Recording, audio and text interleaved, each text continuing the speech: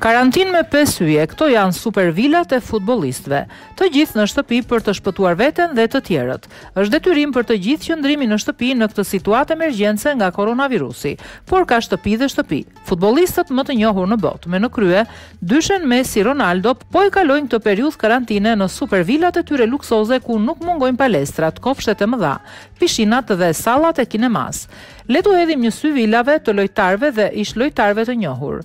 Braziliani Neymar. Sulmuesi i Paris Saint-Germain po e kalon këtë periudhë në vilën e tij njëqind e tridhjetë kilometra larg Rio de Janeiros, një vilë që i ka kushtuar njëzet e tetë milionë euro futbollistit dhe ku kuptohet që nuk mungojnë as fushat e futbollit. Eden Hazard, futbollisti belg i Real Madridit, ka preferuar të blejë një vilë me një kopsht shumë të madh që ka dhe një sallë kinemaje dhe spa, një vilë që ka kushtuar plot njëmbëdhjetë milionë euro. Për vilën e Lionel Messit është shkruar shumë herë. Ylli i Barcelonës u ka kërkuar arkitektëve që vila e tij të jetë e ndërtuar në formën e një fushe futbolli dhe gjithçka që i duhet argjentinasit për t'u zbavitur.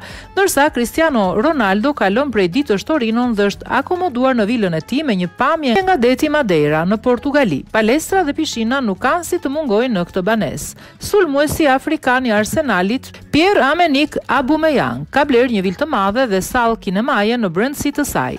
Ajo kushton tetëmbëdhjetë milionë euro, ndërsa mbrojtësi i Barcelonës, Gerard Pique, ka një vilë luksoze prej tetëqind metrash katrorë. David Beckham, ish-lojtari i famshëm anglez, I disa klubeve me emër ka një kështjellë në Buckingham Palace, që kushton tridhjetë e tetë milionë euro. Francesco Totti, ish-fantazisti i Romës dhe Italisë, ka një apartament gjigant me pishinë dhe palestër. Kështu që ata nuk po e kalojnë kaq keq karantinën.